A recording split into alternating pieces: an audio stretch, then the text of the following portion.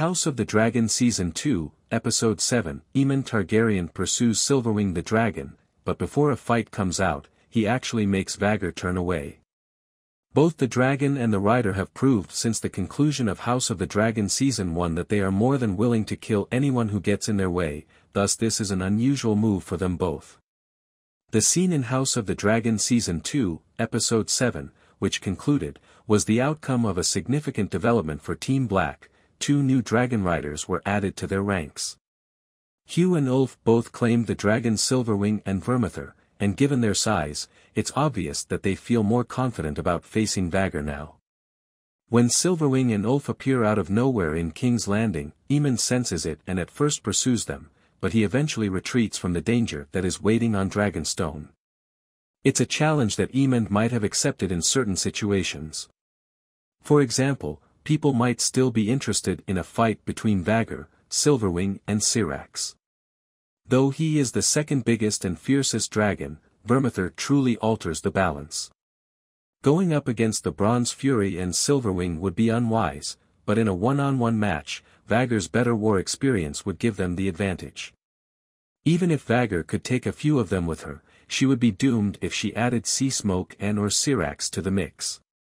And sees what is going on, he learns that Rhaenyra is trying to trick him into falling into a trap, which is identical to what he was going to do with Criston Cole at the Battle of Rook's Rest. Given their extreme confidence, there's undoubtedly a part of Aemond that is reluctant to give up a fight, and perhaps even believes they could win, but the risk is too great. He and Vhagar will be able to battle another day because they fled. Ulf's daring and extremely dangerous strategy is to fly to King's Landing on Silverwing and try to lure Aemond and Vhagar into a fight on Dragonstone. One could argue that, given Caraxes' absence, this isn't even an impressive power move, as it demonstrates that even Aemond and Vhagar are outclassed and unable to withstand the full force of their dragons. However, there are also certain drawbacks. Ulf is a novice dragon rider, and although Silverwing is more experienced, smaller, and faster than Vhagar, there was no guarantee they would return. Comparably, they could have just kept the element of surprise for an attack on King's Landing, but instead they are handing over their cards to the enemy.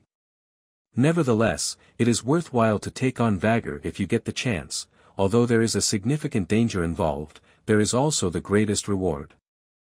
Arrax and Meleys are two rival dragons that Vhagar has already faced and defeated.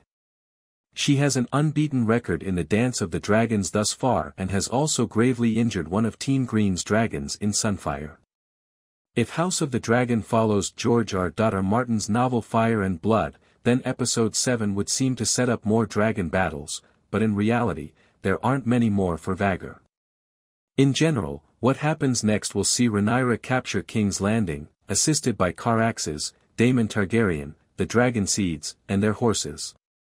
Aemond is actually regaining Harrenhal during this time, and he and Vhagar then set off on a one-man, one-dragon quest to destroy large portions of the Riverlands. This ultimately results in Aemond versus Daemon and Vhagar versus Caraxes, the decisive fight. The battle, dubbed the Battle Above the God's Eye, is fought over the lake where Harrenhal is located, and it might occur in either Season 3 or 4 of House of the Dragon. All four fighters are slain in this magnificent showdown. Vhagar's undoing will come from a rival dragon, not from Vermithor, Silverwing, or the other Team Black dragons that Aemond diverted here.